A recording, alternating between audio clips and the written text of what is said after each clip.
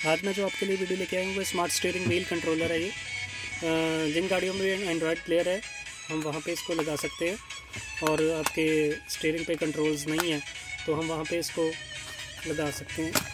आइए देखते हैं इसके अंदर हमें क्या क्या मिलता है। ये एक बुकलेट है। इस तरह से आपके स्टेयरिंग में लग जाएगा, जैसे आजकल की गाड़ियों में लगा होता है। वैसे हम इसको यूज़ कर सकते हैं। इसके अंदर एक तो हमें मॉड्यूलर मिलता है। इसके अंदर तीन केबल्स हैं।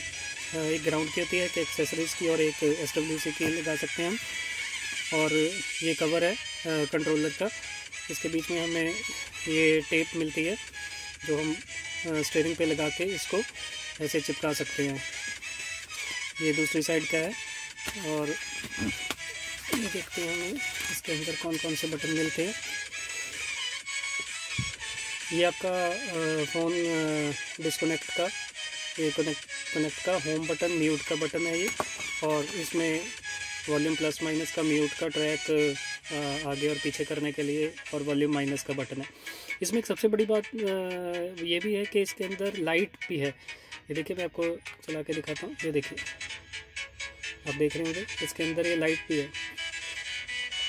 तो ये सबसे बढ़िया बात है तो गाइज़ अगर आपको मेरी ये वीडियो अच्छी लगी हो, आप इसको एक बार चैनल को लाइक और सब्सक्राइब ज़रूर कीजिए। मैं आपके लिए और भी वीडियोस लेके आता रहूँगा। Thank you guys